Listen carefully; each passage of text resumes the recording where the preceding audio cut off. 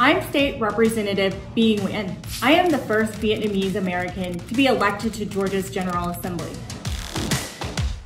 This is a picture of my mom.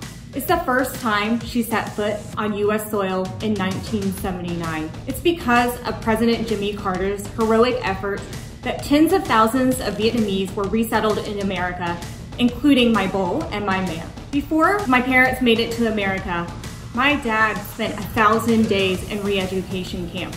I sure as heck am not gonna stay home on November 3rd, and I'm gonna honor the legacy that my parents put before me by electing a president who values freedom of speech, freedom of press, and the freedom to assembly. I hope you'll join me on November 3rd in voting for Joe Biden and Kamala Harris because we can't take four more years of this administration.